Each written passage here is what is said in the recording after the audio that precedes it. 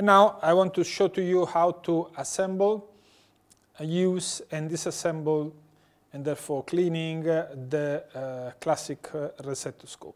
Here in front of us we have uh, the, all the parts uh, that made the Resectoscope. We can start from the optics. The optic it's a 4 millimeter optic uh, with three different options of uh, the view deflection. 0 degree, 12 degrees, and 30 degrees. Uh, usually people expert in uh, they work with 0 degrees or with 12. Uh, 30 degrees is not used because of the problem due to the loss of uh, deepness into the vision, particularly when you extract uh, the uh, loop.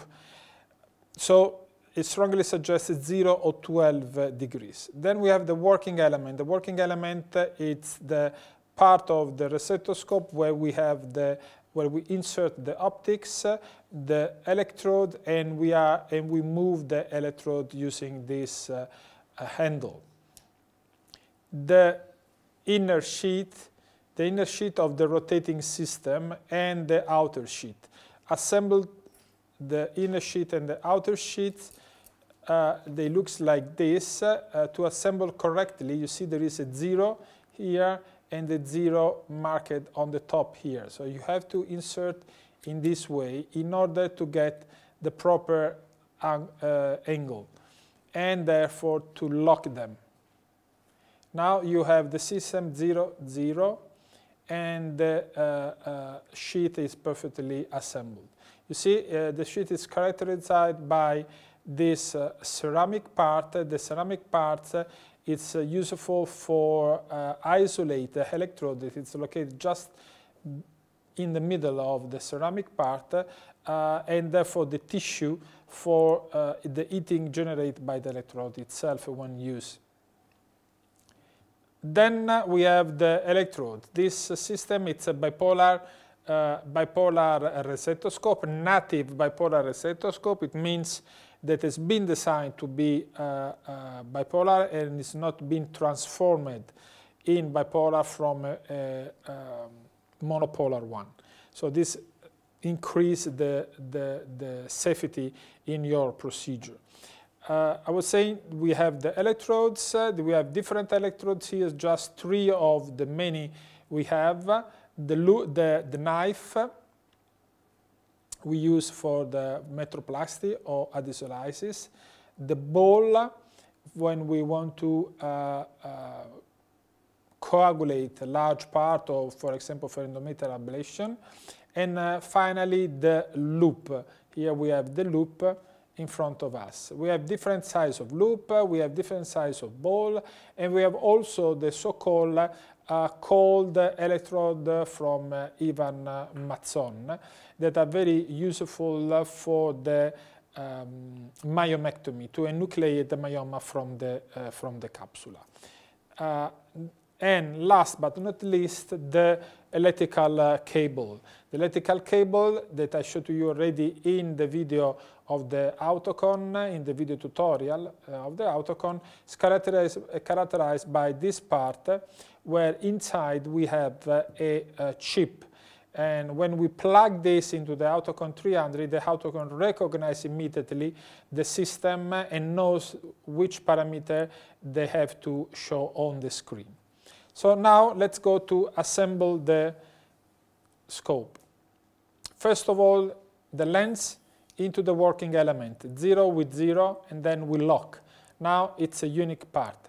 In this case, on the opposite of the uh, classic hysteroscope, office hysteroscope, the LAD cable goes on the top because uh, uh, in the lower part will interfere with the handle, okay? Then uh, we have to take our electrode, for example, the classic loop. You see the electrode, it's open, there are two guides, one here and one here. They are open on the top, okay? they are open on the top. So we insert the two guides into the, into the uh, protection sleeve of the, of the optics and until they reach these two holes. Okay, here. And then we push until we hear a click. The click is because the electrode was inserted here in this part.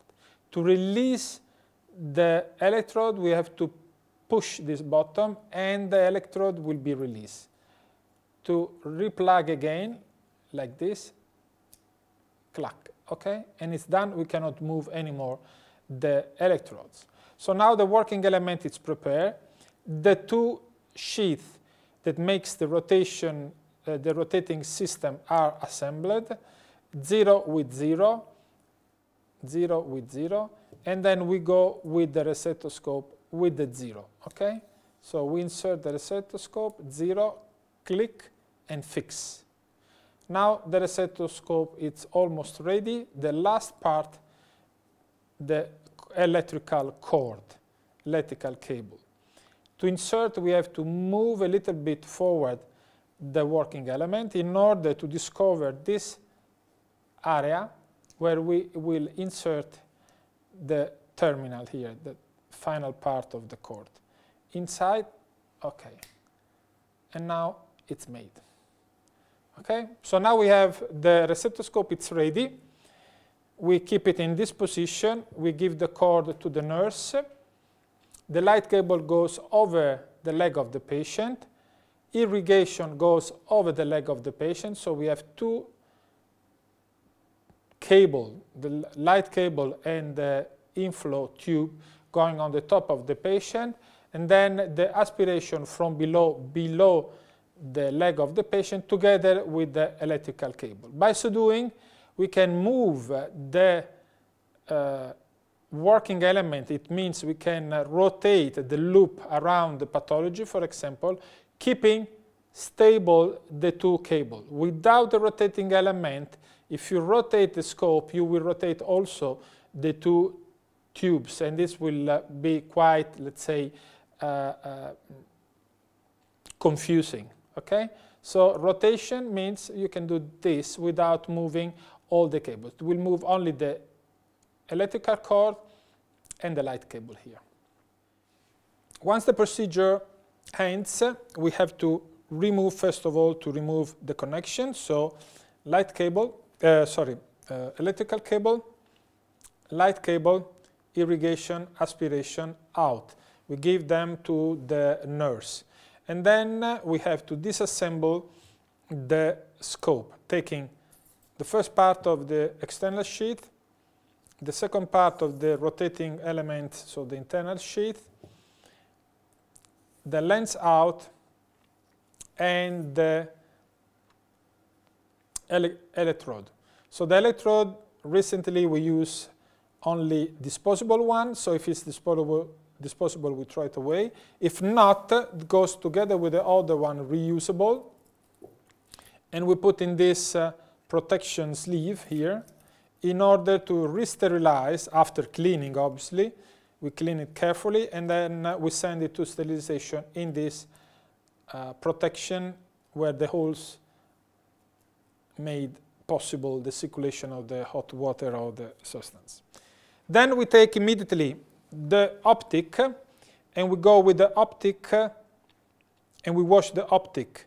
The optic must be just washed. We don't have to scrub with anything. Just in our fingers with the soap, we clean because the optic will never come in contact with any material or blood or anything else because it's protected inside the working element.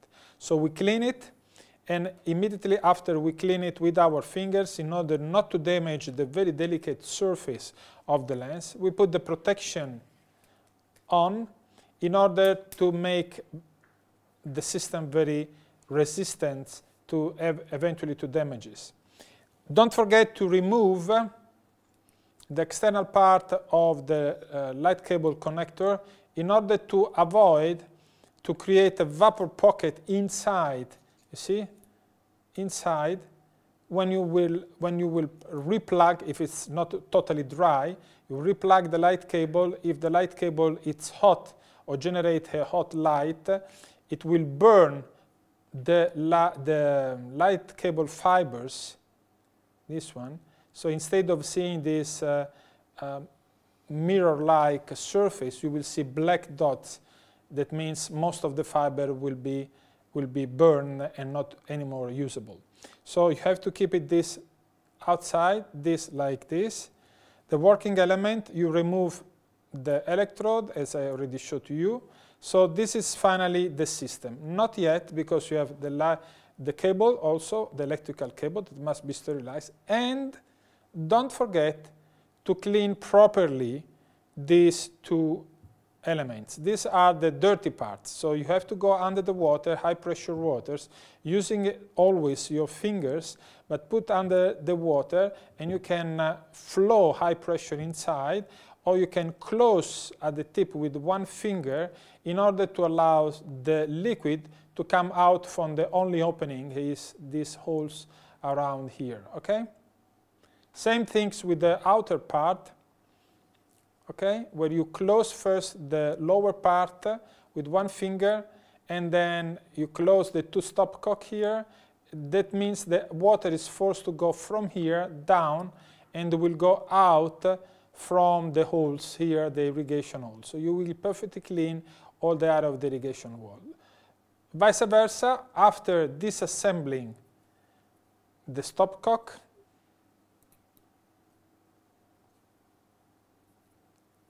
that it's something you have to do every time you sterilize.